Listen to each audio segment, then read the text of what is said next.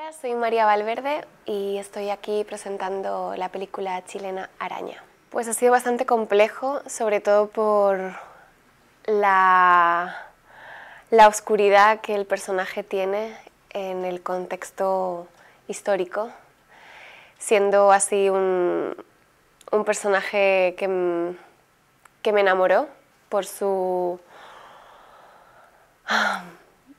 por su sensación de, tener que controlarlo todo, de manipulación, de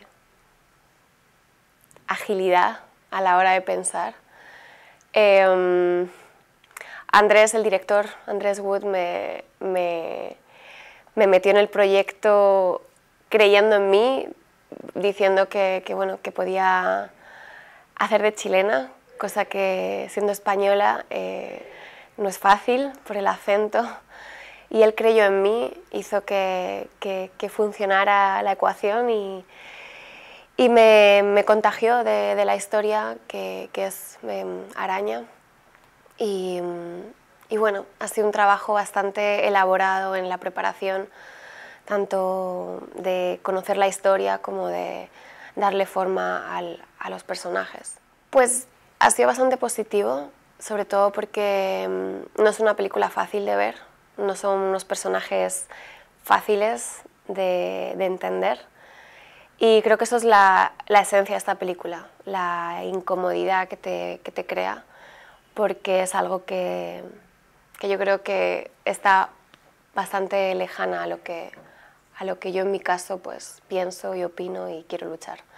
Pero mm, ha sido bastante positivo sobre todo porque la, la película consigue incomodar al espectador. Latino significa todo, o sea, forma parte de, mi ADN ya. Eh, mi primera película la hice en, en, Venezuela, país que amo y que, respeto. Y el haber tenido la posibilidad de trabajar en Chile de la mano de, del mejor, de Andrés Wood, para mí ha sido uno de los regalos más grandes.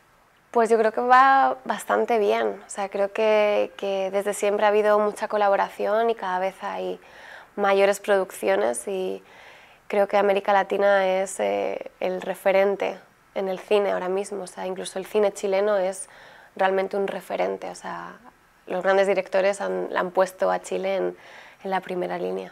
Pues trágica. La verdad que es una tristeza, sobre todo porque es un país que es muy rico, maravilloso. Eh, la gente tiene que ser escuchada y no se, este, no, está, no se les está haciendo caso.